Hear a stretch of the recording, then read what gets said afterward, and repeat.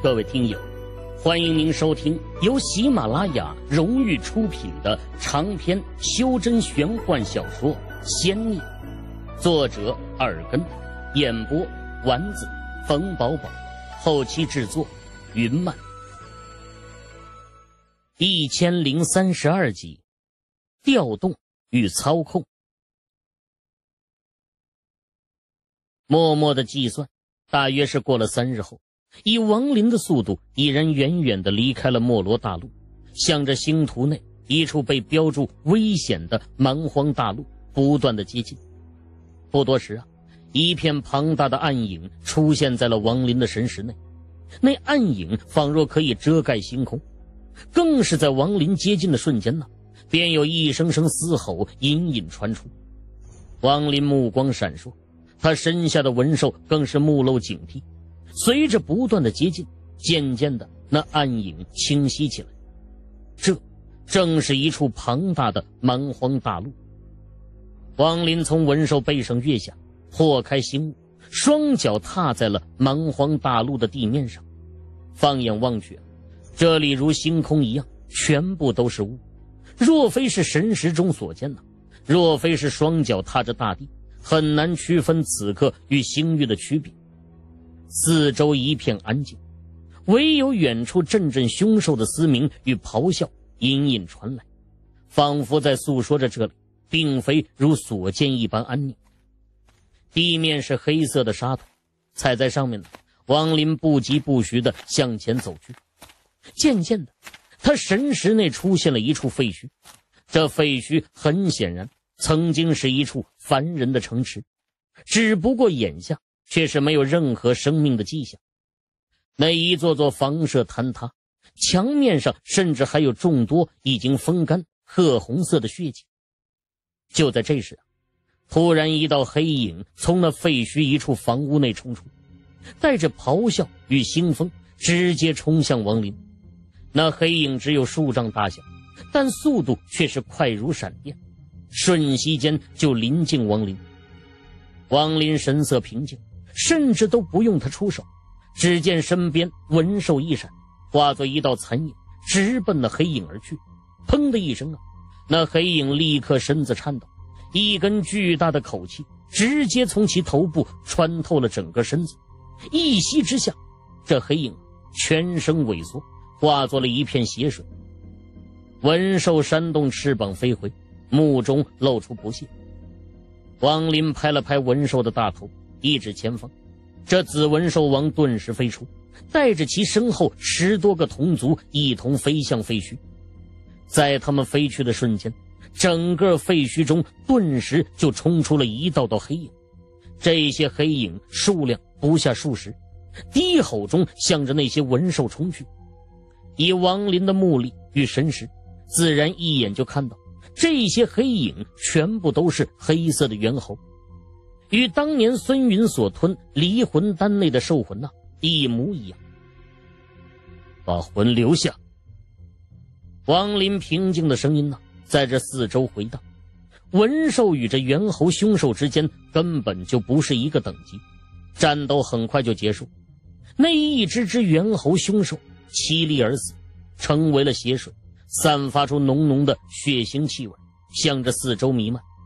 十多只文兽飞回王林的身边，传出嘶鸣的同时，吐出了一个个兽魂，被王林收走。许是血腥之气的原因呢，远远的凶兽咆哮低吼之声便多了起来，地面传来震动，天空之上更有狂风呼啸，把雾气向前吹动翻滚。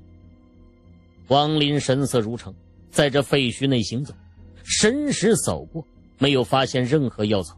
转身离去，他的身影在雾气内前行，似乎啊与雾气融为了一体，露出一股浓浓的煞气，更有比之任何凶兽都要浓郁的凶焰弥漫。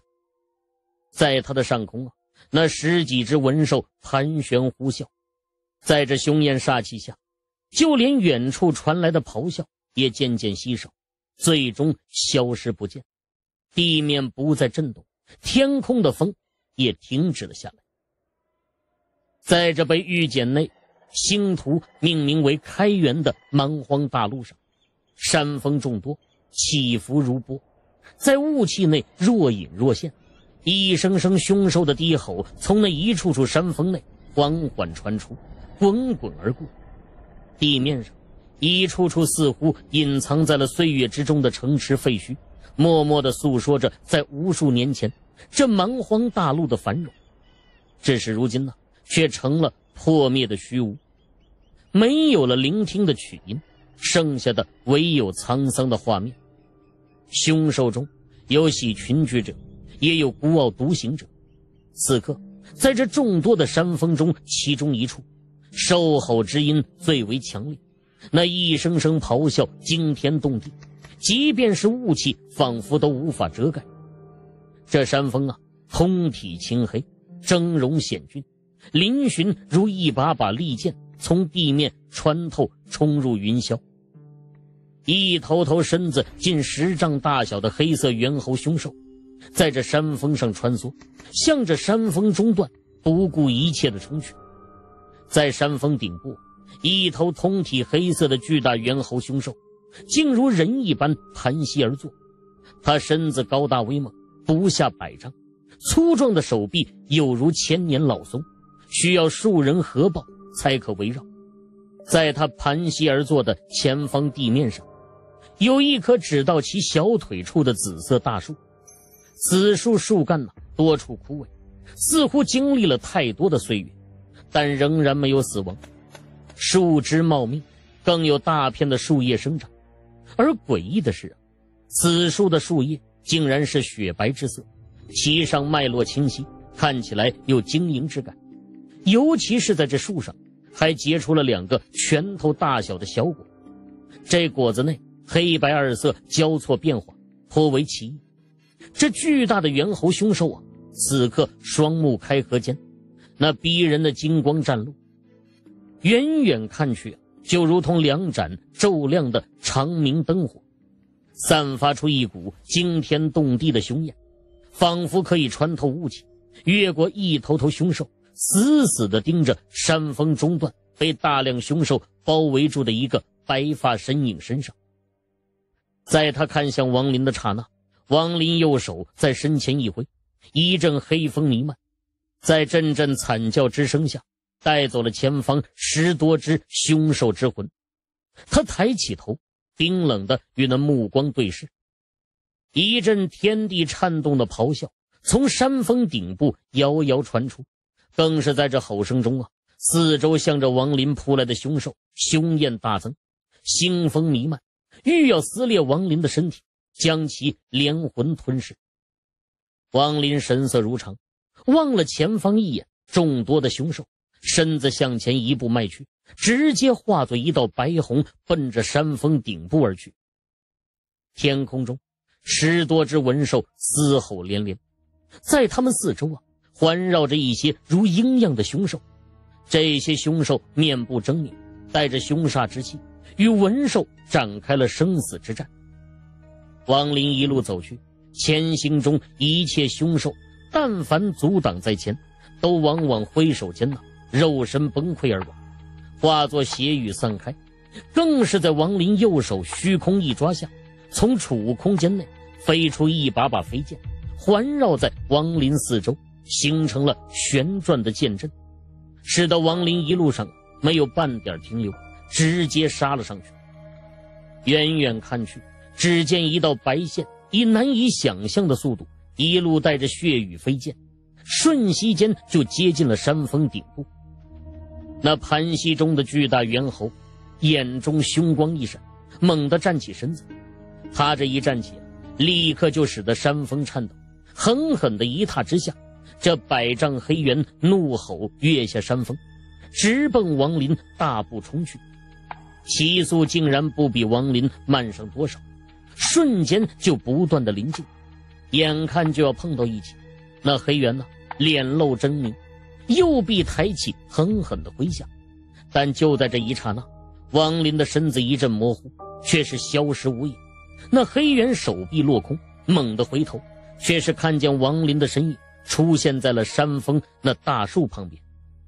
这黑猿的凶目明显瞳孔一缩，咆哮中右臂挥起，却是有一股狂风骤然间在其身体外晃晃，形成了一股连接天地的飓风，直奔王林横扫。王林右手落在身边大树上，轻轻一拍，这大树啊，顿时连根全部消散，收入了储物裂缝内。此刻呀，那飓风来临。